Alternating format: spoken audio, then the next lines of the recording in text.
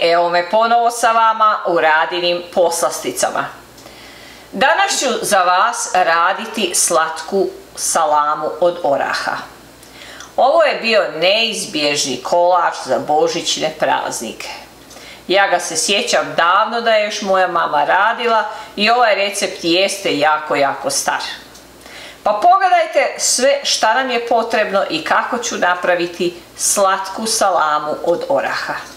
Za slatku salamu od oraha trebaju nam sjeckani orasi, malo mljeveni oraha, šećer, jaja i čokolada. Znači veoma malo namirnica. Ova salama je jako brza za napraviti, a jako je ukusna. Sad ću najprije da skuham jaja i šećer, pa ću dodati sve ostale sastojke i napraviti salamu. Ovdje ću u posudu gdje ću kuhati dodati dva cijela jaja i 150 grama šećera. To ću skuhati malo pa ću dodati čokoladu.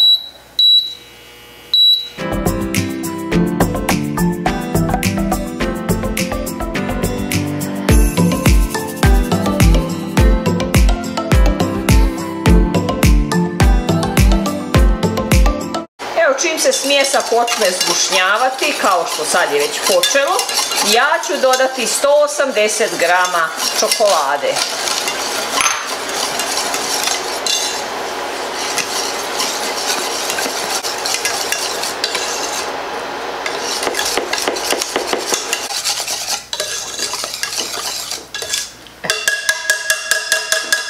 Sad ću u ovu smjesu dodati 150 grama sjeckani oraha.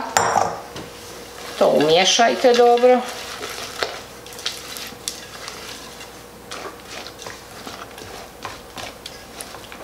I sad ću ovu smjesu ostaviti malo da se ohladi, da, se, da mi je lakše formirati salamu.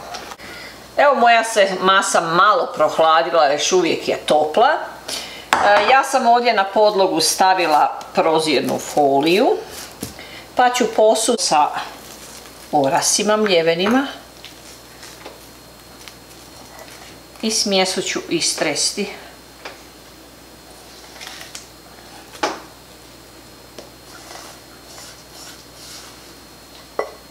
Sad malo to ovako povucite da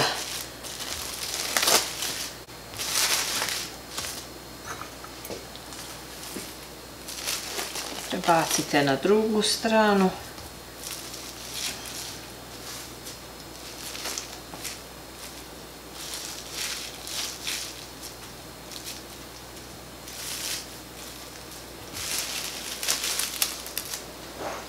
Treba će vam oko jedno 50 grama ovako mljeveni oras.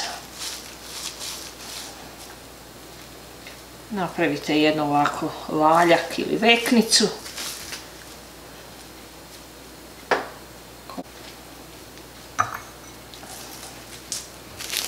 I sad ću umotati u ovu foliju. Krajeve ovako malo zavrnite, tako da ostane jedne forme. I ostavite u frižider da se kompletno ohladi i stvrne. Moja salama se stegla i sad jedino što je preostalo jeste da izrežem. Znači uzmite oštar nož fino se reže. Možete rezati i malo u koso i ravno, kako god volite. Evo vidite kako lijepo izgleda.